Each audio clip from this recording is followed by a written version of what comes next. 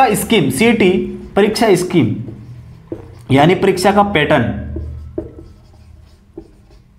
Scheme विषय, यानी कि सब्जेक्ट, विषय विवरण, यानी कि इसमें कौन कौन से सब्जेक्ट रहने वाले हैं, यानी कि पिछली भर्ती में कितने क्वेश्चन पूछे गए, यानी कि प्रश्नों की संख्या।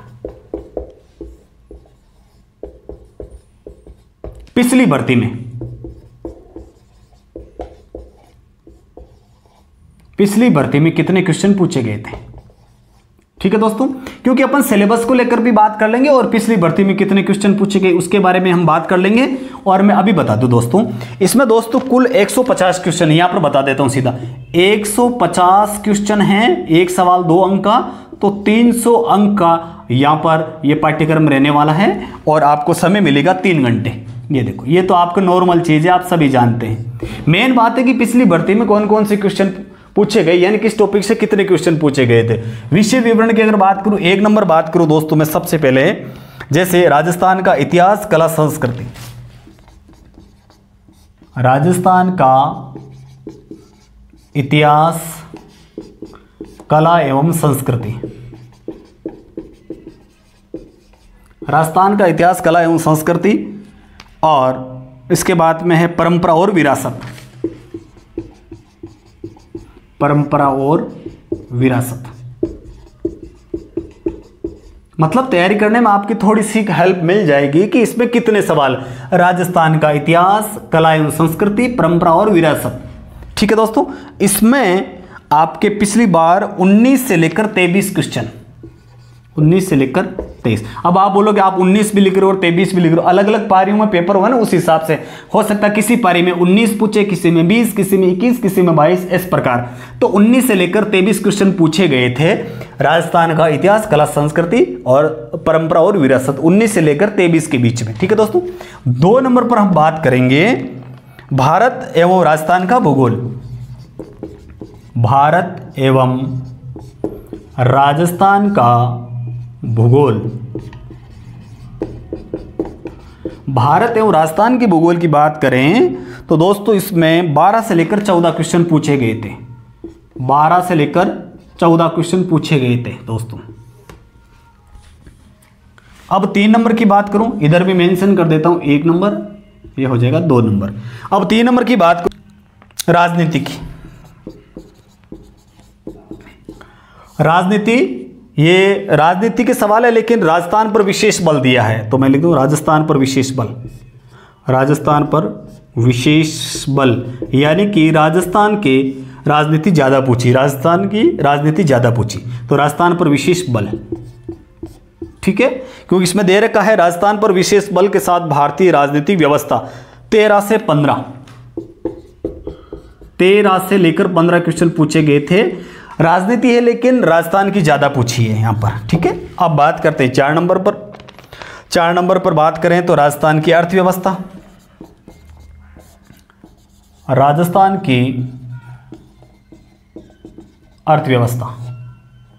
राजस्थान की अर्थव्यवस्था में दोस्तों 10 से 12 क्वेश्चन पूछे गए थे। 10 से 12 क्वेश्चन ठीक है? और उसके बाद पाँच नंबर पर बात करते दोस्तों। दैनिक विज्ञान की। General science. दैनिक विज्ञान में दोस्तों पिछली भर्ती में 15 से 20 क्वेश्चन 15 से 20 क्वेश्चन पूछे गए थे। थोड़ा ध्यान से समझिएगा आप।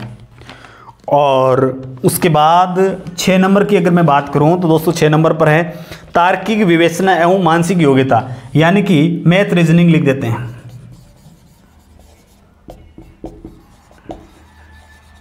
मैथ रीजनिंग मैथ रीजनिंग दोनों में 24 से लेकर 26 क्वेश्चन 24 से लेकर 26 क्वेश्चन दोनों को मिलाकर पूछे गए थे। उसके बाद, सात नंबर पर आता सामान्य हिंदी।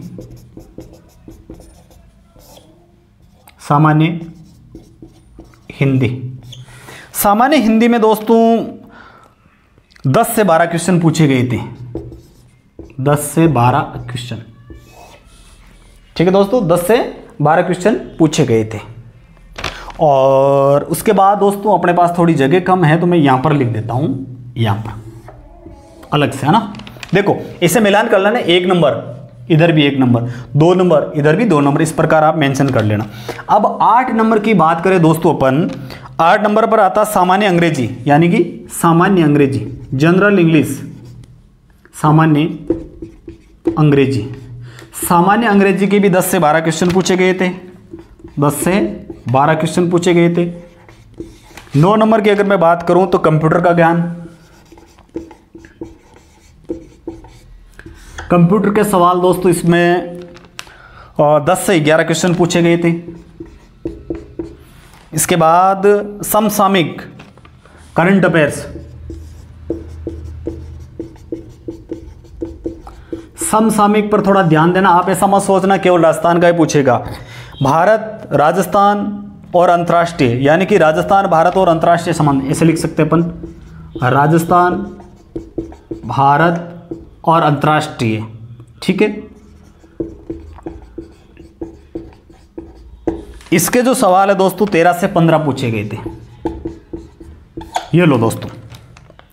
अब देखिए, इस वीडियो को बनाने के एक ही उद्देश्य है कि आपको यह पता चलना चाहिए कि बारहवीं लेवल का जो पाठ्यक्रम क्या रहने वाला? सबसे पहले तो बात है कि आपका पाठ्यक्रम भी बता दिया मैंने। यानी कि राजस्थान का इतिहास, कला, संस्कृति, परंपरा और विरासत। और उसके साथ में मैंने ये भी बता दिया कि पिछली भर्ती में 19 से लेकर 23 क्वेश्चन पूछे गए। तो आपको ये तो पता होना चाहिए कि पिछली भर्ती में कितने क्वेश्चन पूछे और उस हिसाब से अब की बार भी इतने ही सवाल पूछे जाएँगे। एक दो नंबर ऊपर नीचे हो सकता है, एक दो क्वेश्चन बाकी यही रहने वाला है। उसके बाद भारत एवं राजस्थान का भूगोल की बात करें तो 12 से लेकर 14 क्वेश्चन यहाँ पर पूछे गए थे। उसके बाद राजनीति, यानी कि विशेष तौर पर राजस्थान पर ज़ोर दिया गया है। राजस्थान पर विशेष बल राजनीति की बात करें तो यहाँ पर 13 से 15 क्वेश्चन पूछे गए थे। राजस्थान की अर्थव्यवस्था, इसकी बात करें तो 10 से 12 क्वेश्चन पूछे गए थे। दैनिक विज्ञान, जनरल साइंस में दोस्तों 15 से 20 क्वेश्चन, साइंस की ज़्यादा पूछ रहा है। मैथ रीजनिंग यहाँ पर देखो बहुत इंपॉर्टेंट क्योंकि मैथ रीजनिंग दोनों में ज़्यादा क्वेश्चन पूछ रहे हैं 24 से 26 क्वेश्चन सामान्य हिंदी में 10 से 12 क्वेश्चन सामान्य अंग्रेज़ी में 10 से 12 क्वेश्चन कंप्यूटर में 10 से 11 क्वेश्चन और समसामयिक, यानी करंट अफेयर्स में 13 से लेकर 15 क्वेश्चन यहाँ पर पूछे गए थे। डेढ़ सौ क्वेश्चन आते हैं, तीन सौ का पेपर होता है और तीन घंटे का समय आपको देता है। सबसे महत्वपूर्ण बात है दोस्तों नेगेटिव मार्किंग नहीं होगी। नेगेटिव मार्किंग नहीं होगी। और उसके बाद में यह भी मेंशन कर रखा कि आपके सामने पाँच ऑप्शन होंगे। अब ध्यान से समझिएगा कि आपके सामने यहाँ पर दे रखा है कि आपको सबसे बड़ी बात तो कि तीन घंटे का समय दिए मिल गया। लेकिन आपको 10 मिनट अतिरिक्त दिया जाएगा वो किस लिए? पाँचवें ऑप्शन के लिए आपको अलग से टाइम दिया जाएगा 10 मिनट का अतिरिक्त समय। ये बात यहाँ पर स्पष्ट बताई गई है। क्यों? जैसे मान लीजिए कि आपको कोई क्वेश्चन करना है। तो आपका या तो ए ऑप्शन सही हो सकता बी हो सकता सी और डी यानी कि इन चारों में से कोई ना कोई तो सही होगा। लेकिन जो सवाल आपको नहीं आ रहा है तो आपको क्या करना, पाँचवें ऑप्शन को क्या करना है? गहरा करना, इस प्रकार गहरा करना होगा। ये बात यहाँ पर बताई गई है, ठीक है? लेकिन आप ये भी दिमाग लगाओ कि जब नेगेटिव मार्किंग नहीं है तो पाँचों ऑप्शन भरने का क्या मतलब है? आप चारों ऑप्शन में से कोई सा भी एक ऑप्शन भरोगे तो कम से कम तुक्का लगेगा, एक दो सवाल सही हो जाएँगे तो भी बढ़िया बात है। तो आपको मेरे हिसाब से पांचवा ऑप्शन तो भरना ही नहीं है, क्योंकि पांचवा ऑप्शन में अगर टाइम वेस्ट करोगे, वही टाइम अगर आप इन चारों ऑप्शन में लगा देते हो तो मान लीजिए दस सवाल ऐसे जो आपको नहीं आते हैं। अगर आप पाँचवें ऑप्शन में गोला काला करोगे तो आपको कुछ मिलने वाला नहीं है। अगर दस से सवाल अगर यहाँ पर कुछ आप अपनी किस्मत आजमाइश करते हो तो हो सकता है कि दस में से तीन चार सवाल सही हो जाए। ठीक है ना? तो आप पाँचों ऑप्शन को मत करना, इन चारों में से एक तो करना ही करना। लेकिन यहाँ पर यह बात स्पष्ट बताई है कि जब आपको सवाल आते हो, कर लो, नहीं आता है तो आपको पाँचों ऑप्शन यानी कि डेढ़ सौ के डेढ़ सौ क्वेश्चन अटेंड करने ही होंगे। अगर आप 10 प्रतिशत से अधिक क्वेश्चन छोड़ देते हो, ध्यान से समझना 10 प्रतिशत से अधिक, यानी कि डेढ़ सौ का 10 परसेंट, यानी 15 सवाल।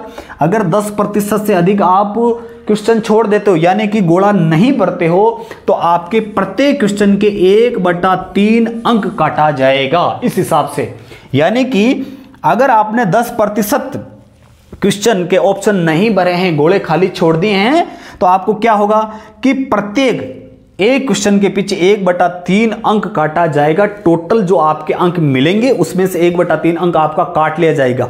तो इसकी बजाय तो आपको 10 मिनट अगर अतिरिक्त मिल रहे हैं, वो किसके मिल रहे हैं? आप समझिएगा 10 मिनट अतिरिक्त मिलने का मतलब है कि आपके पाँचवें ऑप्शन के लिए ठीक है दोस्तों, जितने सवाल आए आपने कर दिए। अगर नहीं आता है तो आपके लिए पांचवा ऑप्शन दे रखा वो तो भरना ही होगा। तो मेरा हिसाब तो यह है कि नेगेटिव मार्किंग जब नहीं है, पांचवा ऑप्शन तो तब अपन को यूज़ करना जब अपने नेगेटिव मार्किंग हो। इसमें नेगेटिव तो है नहीं। तो आपको चार ऑप्शन में से कोई ना कोई तो सही हो ही जाएगा। ठीक है? उम्मीद करता हूँ कि ये वीडियो मैंने ईमानदारी से बनाने का प्रयास किया है और आपको वीडियो बहुत पसंद आया होगा। वीडियो पसंद आए तो लाइक तो कर ही दीजिए और चैनल को सब्सक्राइब कर दो। हमारे वीडियो को शेयर कर दो सभी को। राम राम, सभी को नमस्कार।